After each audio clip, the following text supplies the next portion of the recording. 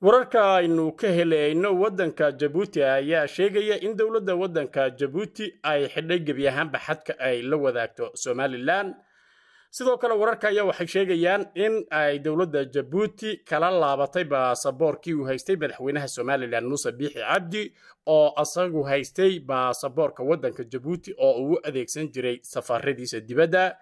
wararkan oo inta caawannimo oo taariikhdu ay tahay tobanka janawari sannada labada kun iyo saddex iyo labaatanka ahna habeennimo arbaca ah soo baxaya ayaa sheegaya in dowladda jabuuti ay si weyn uga cadhootay tallaabada uu qaaday madaxweynaha somalilan muuse biixi cabdi oo asagu heshiis is-afgarad lagu sheegay dhul iyo badna etoobiya loogu wareejinhayay la galay dowladda uu hogaaminhayo abiy axmed oo magaalada adhisababe caasimadda etoobiya ay ku galeen heshiiskaasi. Heshiiskan oo xasarad iyo buuq aad u badani ay ka dhalatay ayaa waxaa si adag ayaguna uga cadhooday ugana falcelisay dowladda federaalk ee soomaaliya. Iyo weliba wadamo kale oo iyaguna sheegay in lagu xadgudbay madax bannaanida dhuleed ee soomaaliya. Haddaba dhegaystayaal haddii aynu warkani ku soconno wararka inta habeennimo aynu helayno ayaa waxa ay sheegayaan in dowladda waddanka jabuuti ay gebi ahaanba si rasmi ah u xidhay xadka ay la wadaagto somalilan kuwaasi oo lagu soo daadiyey kumanaan ciidamo ah aysanna jirin haba yaraatee wax u gudbaya dhinaca waddanka jabuuti. Deegaanada uu madaxweynaha somalilan muuse biixi cabdi uu saxiixa ku sameeyey ee dowladda etoobiya saldhigga milatari ay ka dhiganayso. Sidoo kalena bad uu sheegay ama deked madaxweyne biixi in uu ku wareejinhayo ayaa xiga dhinaca waddankaasi jabuuti. Sidoo kalena waxaa dega beesha waddanka jabuuti ugu badan ee ciisaha la yidhaahdo ayaa degan dhinacan kalena oo beesha ciise inta ugu badan waxay degtaa waddanka jabuuti. Qaybo kalena waxay degaan waddanka soomaaliya oo dhinaca somalilan ah oo ah dhulkan hadda ay xiisadu ka taagan tahay sidoo kale beesha ciise waxa ay degtaa deegaanka soomaalida ee waddanka etoobiya ka tirsan. Haddaba waddanka jabuuti si aad u daran ayay wararku sheegayaan in ay uga cadhoodeen tallaabada uu qaaday madaxweyne biixi waxaana sababta ugu badani ay tahay dowladda waddanka jabuuti waxay waday dhexdhexaadin ay dowladda federaalka soomaaliya iyo somalilan u samaynhaysay oo iyadu oday ay ka ahayd sannadihii u dambeeyey saadii loogu soo kala dareeray shirkii uu ka odeeynhayay ismaaciil cumar geelle ee ka dhacayay magaalada jabuuti ayaa madaxweyne biixi uu u sii gudbay dhinaca etoobiya heshiiskan la sheegay inuu yahay xadgudub ka dhan ah jiritaanka dowladda federaalk ee soomaaliya iyo dhulkeeda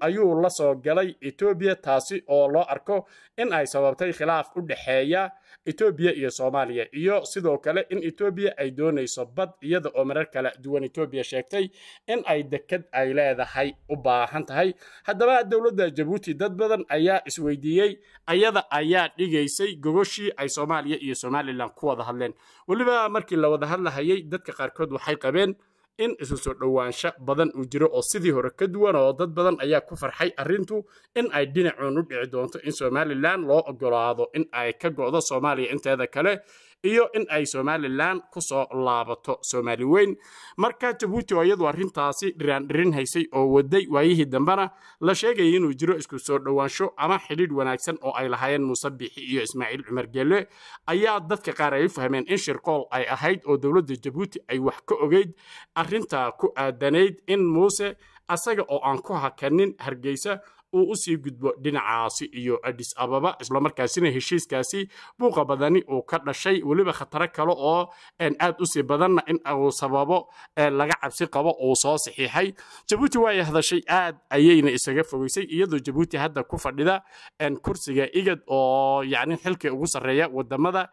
bariga afrika ay jabuuti hadda ku fadhido oo xilkaasna ay hayso. Sidoo kalena ay ahayd dowlad dhexdhexaadinaysa laba dhinac ayaa aad ay isaga fogeysay arrinta la xidhiidha tallaabada uu qaaday. Muuse biixi weliba waxay sheegtay jabuuti in ay muujin hayso arrimo dhowra oo ku aadan sida ay uga xun tahay tallaabadaasi. Maalinimadii shalayto xildhibaan ka tirsan baarlamaanka waddanka jabuuti iyo sargaal isaguna ka tirsan madaxtooyada waddanka jabuuti ayaa labadooduba hadlay waxayna sheegeen in arrintaasi ay aad uga xumaadeen. Aysanna waxba ka ogeyn si guud iyo si gaarbana ay aad uga soo horjeedaan in lagu xadgudbo madax bannaanida dhuleed xireed badeed ee soomaaliya waxaana ay arrintaasi ku tilmaameen mid aan sina lagu aqbali karin lagana gardaran yahay soomaaliya oo aysan ahayn in gobol la yidhaahdo waxa aynu la gallay heshiis aynu ku qaadan hayno bad iyo dhul isku rikiban oo dhulkan ayaana la sheegay inuu yahay dhul aad u weyn oo xiga dhinaca waddanka etoobiya etoobiya waxay sheegtay dekedda muuse uu u saxiixay ama ay la wareegayso in ay tahay dekedda lughaye dekeddaasi dadka dhulkaasi yaqaana anu shakhsiyan aad uma aqaano. Waxa ay sheegayaan dekedda lughayo haddii lagu wareejiyo etoobiya in dhul badan oo soomaaliya ka tirsan ama somalilan ay etoobiya gudaheeda gelayaan oo saas ay ku mulkinayso. Dhulkaas xataa waxaa ku jira bad sida la sheegayo dekedda saylac oo iyada intii hadalka etoobiya ka horreysay aad loo hadalhayey ayaa la sheegayaa in ayba gelayso gudaha waddanka etoobiya oo meel xagal ah ama godan oo horey loo socon hayo ayaa la sheegay in ay lughayo ku taallo oo lughayo haddii ay degaan ciidamada etoobiya ama etoobiya dekedda lughayo ay qaadato bad iyo dekeddii saylac iyo dhul kale oo badan ayaa ka dambeeya oo gudaha etoobiya sidaasi ku galahaya. Etoobiyana waxay rabtaa in aysan noqonin ciidamo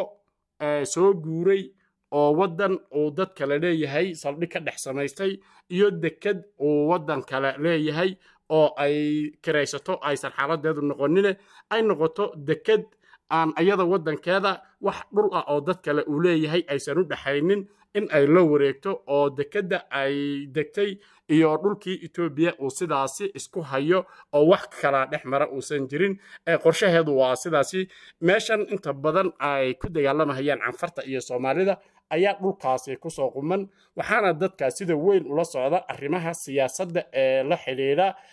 xiisadan ka tolatay badda soomaaliya. Ay sheegahayaan sannadihii dambe wixii dhulkaasi etoobiya ay ugu dagaalamahaysay ee canfarta loogu soo gabanhayeyba in ay ahayd in dhulkaasi oo aan aad u sii fogeyn oo la sheegay in ilaa iyo lixdan kilomitir uu u jiro dekedda in lagu beero dad aan ahayn soomaali waxaana taa caddaynaysa magaalooyin iyo dhul soomaalidu ay lahayd ayay etoobiya ku wareejisay canfarta si xoog ah oo ciidamada militariga la adeegsanhayay iyo canfarta oo iyadana ciidamadeeda qaybaha kala duwan ka kooban ay sidaasi ku dagaalamahayeen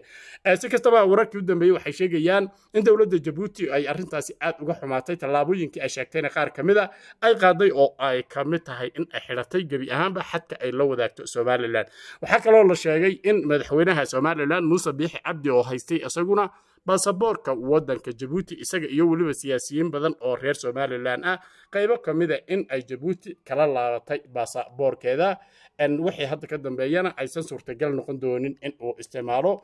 Jabuuti oo aad arrintaasi ooga xumatay ayaa tallaabooyinkaasi qaadaya. Si kastaba xiisadan xooggan ee soo korodhay ayaa ka sii daraysa. Marba marka ka dambaysa dowladda soomaaliya ayaana wadda dhaqdhaqaaqyo ka dhan ah heshiiska is-afgaradka lagu sheegay ee etoobiya somalilan ay la gashay madaxweynaha soomaaliya mudane xasan sheekh maxamuud oo maalmihii la soo dhaaf eritrea ku maqnaa ayaa dib ugu soo laabtay magaalada muqdisho maanta gelinkii dambe. Waxaa la sheegay in madaxweyne xasan sheekh maxamuud uusan soo marin hawada etoobiya oo markii eritrea loo sii socdo la mari jiray oo halkaas iyo berbera meel u dhow hawada etoobiya ama ah oo marinka habboon ee la adeegsado ee dhow uu ahaa balse markii hadda xaaladdu sidan ay noqotay waxaa la sheegay in madaxweyne xasan sheekh maxamuud uu dhinacaas iyo badda cas uu maray oo marin dheer oo markaasi xogaa aan toobiye ahayn uu ka soo laabtay. Iyadoo madaxweyne xasan sheekh maxamuud uu marar kala duwan ka hadlay arrintan oo xalay ay u dambeysay oo xildhibaano uu kula hadlay.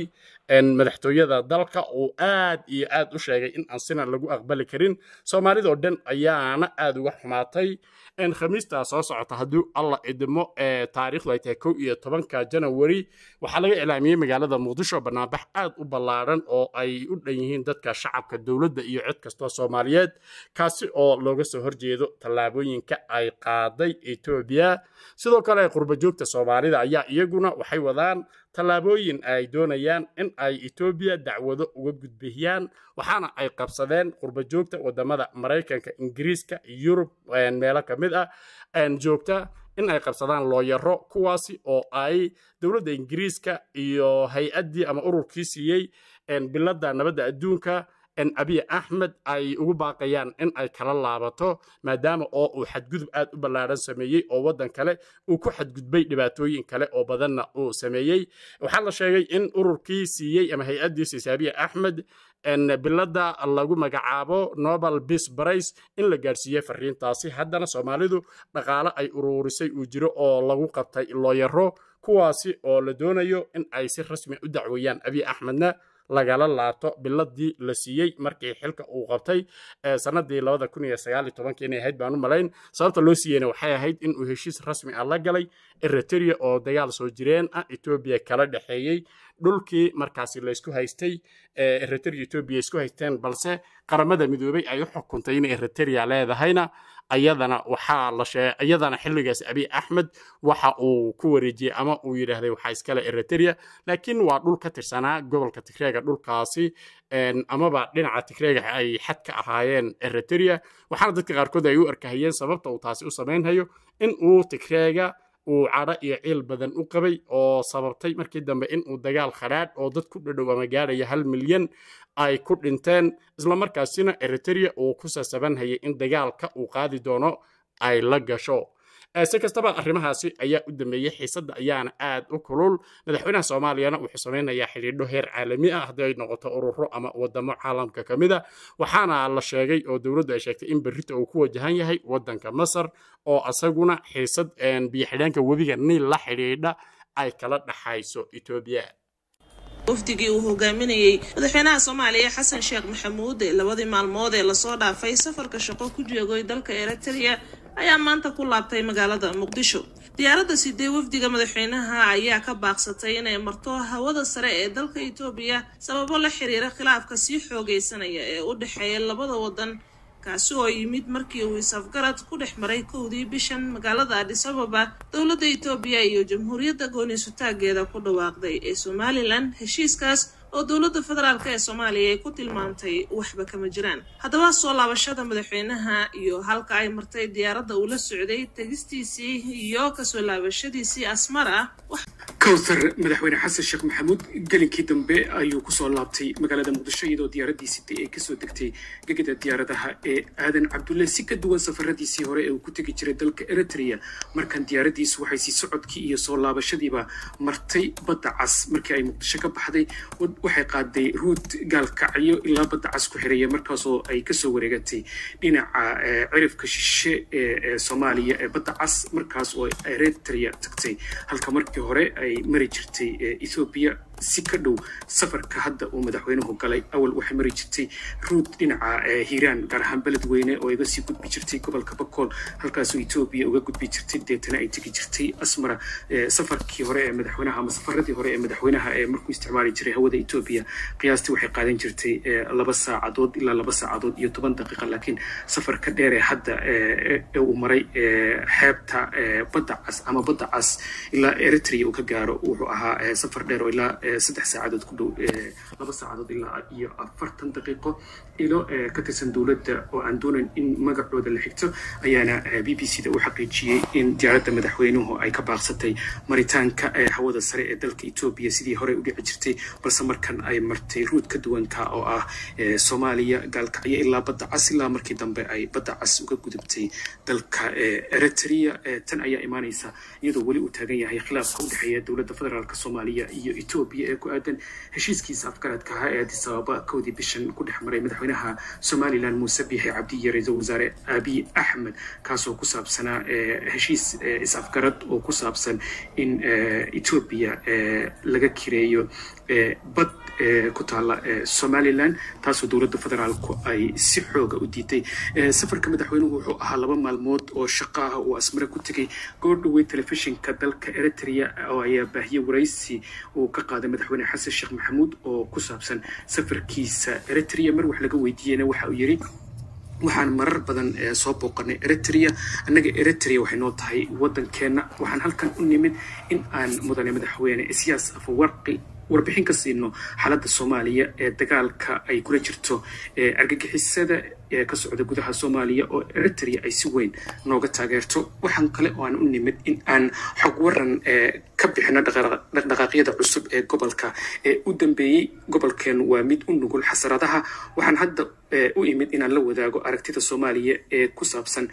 xisada gobolka. Marka waxay ahayd xog wadaagis iyo xog iswaraysi aan mar kasta samayno aniga iyo madaxweynaha eritrea